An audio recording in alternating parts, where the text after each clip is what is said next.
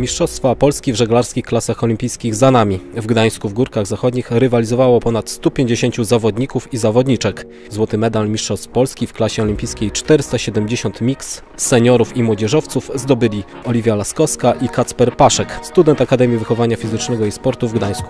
Bardzo fajnie, że nam się udało utrzymać skupienie podczas tych czterech wyścigów, bo byliśmy bardzo długo na wodzie i ciężko było utrzymać to skupienie przy bardzo małym wietrze. Wszystkie decyzje, które podejmowaliśmy były dobre, no i no nie można po prostu było wypaść z rytmu przy tym zmiennym wietrze. Bo rywalizacja była bardzo trudna, bo te załogi z zagranicy też były bardzo dobre. No po prostu bardzo dobrze nam poszły te regaty. Od 2016 roku właśnie zawsze byłem na podium na Mistrzostwach Polski, ale nigdy nie udało mi się wygrać i to w sumie też jest dla mnie bardzo ważny sukces.